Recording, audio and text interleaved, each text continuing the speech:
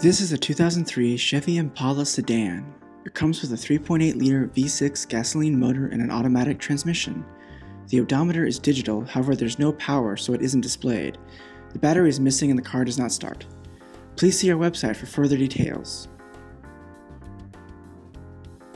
Liquidity Services provides buyers and sellers with the world's most transparent and innovative online marketplaces for surplus assets. We add new inventory weekly with merchandise from government agencies, corporate clients, and commercial businesses.